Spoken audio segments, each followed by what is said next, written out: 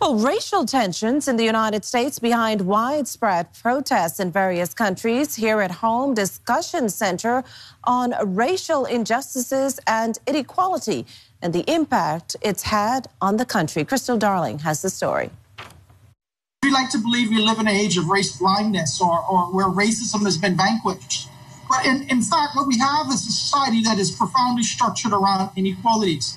Following a storm of racial debates all over social media, many have been standing in support of global black empowerment.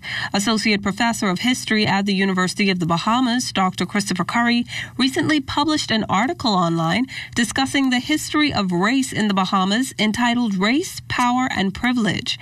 In the piece, Curry lays out issues in the immediate post emancipation period, saying that labor exploitation took place through many systems, including the truck share and labor tenancy.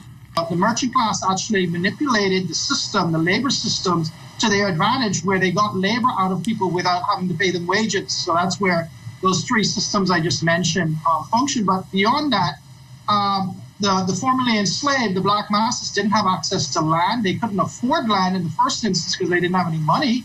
And secondly, even if they could have afforded land, they didn't really have access to it because a lot of the land was crown land or there was clear title, and, and clear title meant legal documents that, that the white merchant class had that gave them an advantage over the formerly enslaved black masses.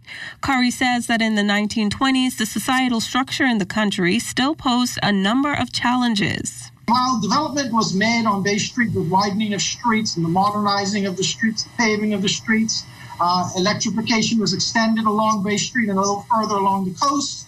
Over the Hill remained completely marginalized. We had abysmal um, social services. You had no access really to health still. Education was completely ignored. I mean, we're talking about a society in which high school education was not afforded to blacks until really the 1950s. The University of the Bahamas professor also quoted political activist Marcus Garvey as he made suggestions on how black communities can overcome deeply rooted and long standing racial injustices.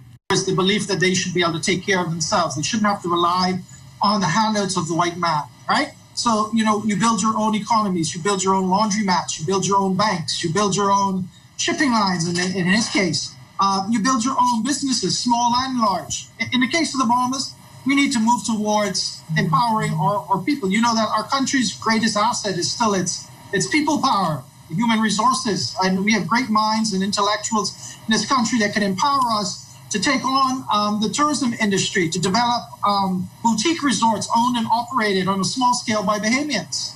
But beyond that, you know, we have to do some serious legislative and constitutional reform. Crystal Darling, ZNS Network News.